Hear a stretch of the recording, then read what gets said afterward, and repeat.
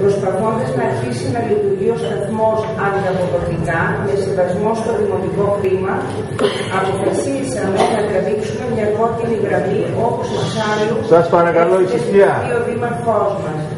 Αφού όμως γίνουν γνωστά στους συνδημότες μας τα πεπραγμένα του παρελθόντος.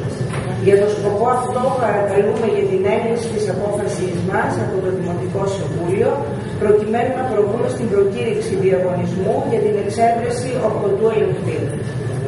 Ευχαριστούμε. Ερωτήσεις διευκρινιστικές επικεφαλής των δημοτικών παρατάξεων. Κυρία Ρούφα. Μόνο μία, οπότε ποια ημερομηνία, σε ποια συνεδρία υπάρχει και αυτή η απόφαση.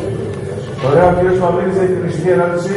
Ο κύριος Δεργός διευκρινιστική ερώτηση. Η κυρία Μαρτύρη διευκρινιστική ερώτηση.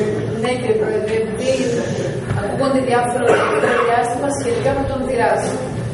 Και επειδή μερικές φορές ο ορθωτό λογιστή και ο έλεγχο των οικονομικών μπορεί να προμηνεί και άσχημα και άσχημε εξελίξει.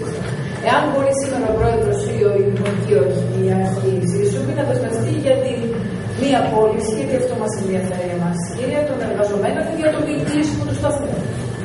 Ευχαριστούμε. Εκ μέρους του Δημοτικού Συμβούλου κάποια ερώτηση από έναν συνάδελφο. Όχι. Ε, κυρία Πρόεδρε, θέλει να απαντήσει την ερώτηση της κυρίας Ρούφα. Πρέπει να απαντήσει. Είναι στη η απόφαση είναι 8 Δεκάτου του 2014, ε, το δεύτερο θέμα και ήταν ομόφωνη η απόφαση από το Διοικητικό Συμβούλιο. Η απάντηση προς την κυρία Μακρύ είναι ότι εγώ δεν αναφέρθηκα ούτε για απολύσεις, ούτε για κλείσιμο τους σταθμού αυτή τη στιγμή. Και αν ε, θέλαμε να το κάνουμε αυτό και αν ήθελα εγώ ή και η Δημοτική Αρχή, θα ήταν το πιο εύκολο πράγμα που μπορούσα να κάνω την πρώτη μέρα που πήγαινε εκεί. Να κατέβαζα τους διακόπτες και να φεύγουμε. Αλλά δεν είχα να κάνω με διακόπτες, είχαμε να κάνουμε με ανθρώπους. Οπότε όπως καταλαβαίνετε, μόνο αυτό δεν συζητάμε τώρα και μόνο αυτό δεν δείχνει την αγωνία μου όλη αυτή την περίοδο για το ΔΙΡΑΣ. Και τη δική μου αλλά και της Δημοτικής Αρχής.